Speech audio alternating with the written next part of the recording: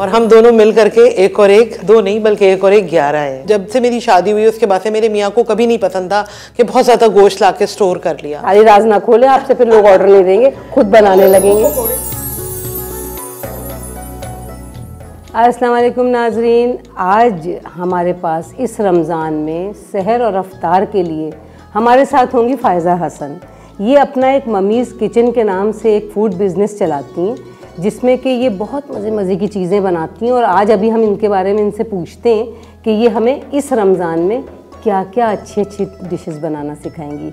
अस्सलाम वालेकुम फ़ायज़ा आप कैसी हैं? वालेकुम अस्सलाम अल्हम्दुलिल्लाह बिल्कुल ठीक ठाक अच्छा ये बताएँ कि आप जो मैं जितना मैं जानती हूँ कि आप ममीज़ किचन जो है वो काफ़ी अरसे से रन कर रही हैं और मेक टू ऑर्डर आप लोगों के लिए खाने तो बनाती हैं लेकिन रमज़ान में शहरी के बॉक्सेस भी जाते हैं अफ्तार के बॉक्सेस भी जाते हैं। तो आप अपना ये ममीज़ किचन के बारे में थोड़ा सा बताइए थोड़ा अपने इस बिज़नेस के बारे में।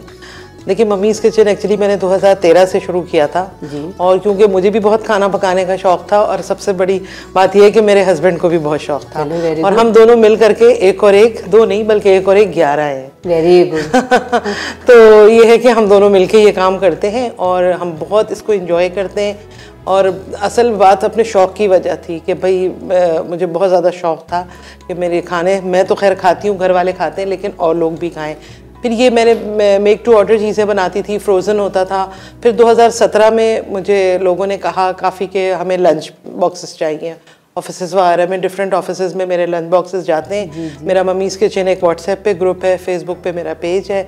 तो उसमें क्या होता है कि मैं अनाउंस करती हूँ सुबह एक मेन्यू मेरा होता है फिर उसके हिसाब से ऑर्डर्स आते रहते हैं और डिफरेंट डिफरेंट चीज़ें होती हैं उसके अंदर। ये तो आम दिनों में होता है। और उसके अलावा तो जी रमज़ान में ख़ास डिशेज होती हैं। तो इस रमज़ान में आप हमें मज़े मज़े की डिशेज बताएँगी सिखाना इस रमज़ान में इनशाला मेरा इरादा है कि शाबान के जो पहला हफ़्ता होगा, उसमें मैं अनाउंस कर दूँगी चीज़ें जो लोग फ्रोज़न बनवाते हैं, उसके अंदर होते हैं। मुख्तलिफ़ तरह के समोसे हैं, आलू के कीमे के, दम के कीमे के चिकन चीज़ समोसा, खाली कॉटेज चीज़ के समोसे होते हैं।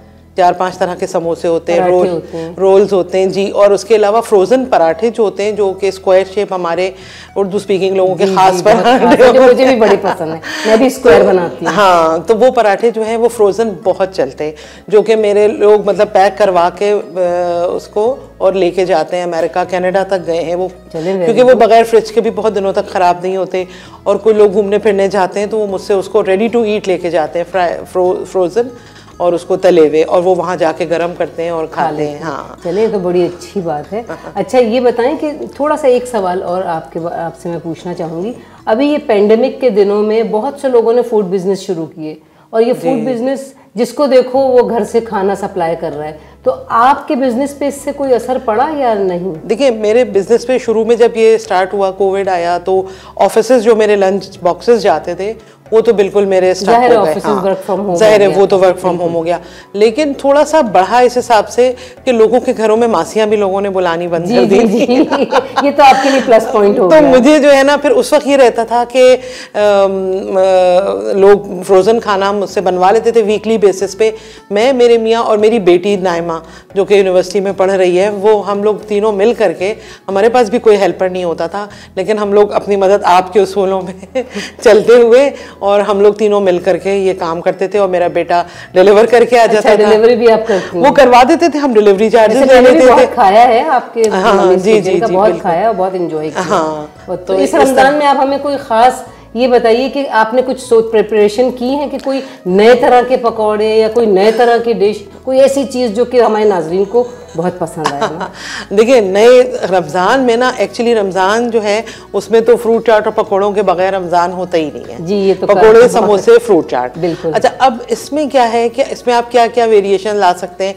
उसमें अभी मैंने आ, कोई ऐसा अनाउंस तो नहीं किया लेकिन मैं करूँगी कि जैसे पकौड़े हैं तो उसमें चीज़ के पकौड़े अच्छा। क्योंकि आजकल बच्चों में बहुत वो हो गया है चीज़ जी। और मोजरेला स्टिक्स होती हैं जो कि रेस्टोरेंट्स वगैरह में मिलती हैं वो मैं घर में बनाती हूँ अल्हम्दुलिल्लाह और वो काफ़ी पॉपुलर होती हाँ, है। क्योंकि आपका मैंने खाउसे खाया बड़ा मज़े का हाँ, खाउसे होता है हमारी वो हमारी उर्दू स्पीकिंग की डिश तो नहीं है लेकिन नहीं आपका है। बड़ा मज़े का जी एक्चुअली वो वो भी मैंने ज़ाहिर सीखा लोगों से कि जब डिमांड होती थी कि भाई कुछ डिफरेंट चाहिए हम्म। तो उसके अंदर ये था कि मैं अपना खाउसे खाउसे मैं बनाती हूँ मगर मैं बनाती हूँ उसको कढ़ी के साथ हूँ। अच्छा, वैसे जो मेमनी हाँ हमारा जो क्योंकि जो असल में जो मेमनी डिश है ये और मेमन इसको बनाते हैं नारियल की कढ़ी बनाते हैं वो। अच्छा, तो हम इसमें कढ़ी में नारियल डालते तो हैं मगर हमारी नॉर्मल कड़ी होती है अपने अंदाज से बनाते हैं। लेकिन वो बहुत ज़्यादा पॉपुलर है। हमारा दम का कीमा जो है वो शहरी में भी बहुत ज़्यादा लोग लेते हैं। क्योंकि मेरे खानों में ये है कि मसालों का एक ब्लेंड होता है। ये नहीं है कि बहुत ज़्यादा मिर्चें हैं या बहुत ज़्यादा हरी मिर्चें हैं या मतलब ऐसा खाना है जो हर घरों में अपने अंदाज जी, बिल्कुल, बिल्कुल। वैसे भी लोग मसाले ज़्यादा खाते जी बिल्कुल। कम ऑयल कम उसका होता है। सबसे बड़ी चीज़ मैं आप लोगों से नाजीन ये बात कहूँ कि मैं भी इनके बहुत से खाने खाती हूँ और इनकी जो मुझे सबसे ज़्यादा चीज़ पसंद है देखिए खाने के लिए सबसे मेन चीज़ होती है क्वालिटी और क्वालिटी मैं इसलिए ट्रस्ट करती हूँ कि परचेजिंग सारी इनके हस्बैंड करते हैं जी, बिल्कुल। और ये हर चीज़ में खुद मॉनिटर करती हैं जी। तो इसलिए सफ़ाई सुथराई और क्वालिटी जो है ना उस पर कॉम्प्रोमाइज़ नहीं होता।